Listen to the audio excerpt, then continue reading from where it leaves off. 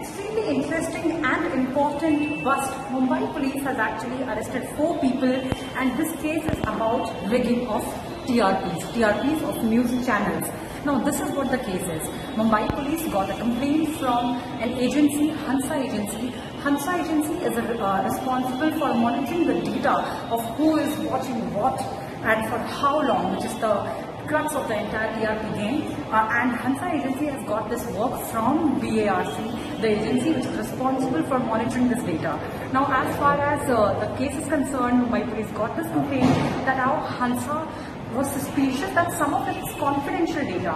See, all this data, which household is watching which channel and for how long is actually confidential.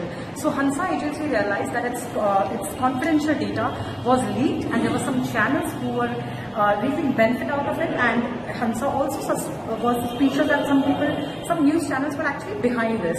So when Mumbai police started its investigation, Mumbai police first spoke to Hansa, spoke to BARC and at that time Mumbai police realized that there were former employees of Hansa agency which were involved. Uh, not only were they sharing the confidential data with these channels, but all these people were actually visiting individual households and they were bribing those households to, and asking them to watch those specific channels.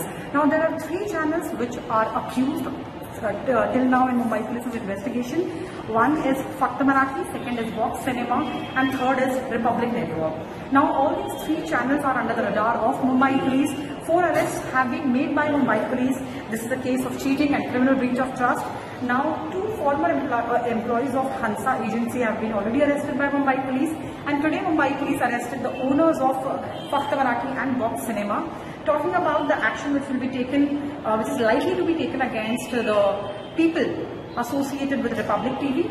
Uh, responding to that, Mumbai Police Commissioner Mr. Parambir Singh himself said that as far as people involved in the case are concerned, nobody will be spared and the focus of Mumbai Police is going to be the managing editor, the director of the channel, the promoters of the channel and the other people who are working with the channel. Not just that, the people who actually uh, were reaping the benefit apart from the channel were marketing agencies.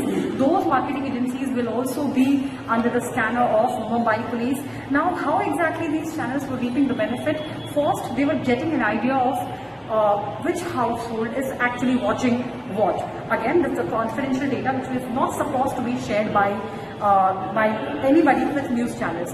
Now, after getting that data, uh, these news channels, apart from getting that data, they were also paying certain households to watch their channel, and this will, of uh, this was of course giving a boost to their TRP, which was a fake and a manipulated rigged TRP, and based on that rigged but still boosted TRP, those channels were getting revenue in the form of ads.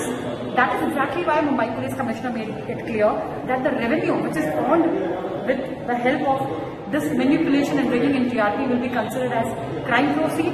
Mumbai Police will also look whether this money was siphoned off or whether it was used for other illegal purposes or not. As of now, three news channels are under the scanner and what exactly and when exactly this suspicious trend was noticed, whether it had anything to do with Sushant Singh Rajput's death coverage or not is also going to be uh, the focus of Mumbai Police. As of now, uh, three channels are on the radar of Mumbai Police, Fakt Cinema, uh, uh, Marathi, Box Cinema and Republic TV Network. In Mumbai with camera person Rich Dhawan, this is Sandhya from Mirror Now.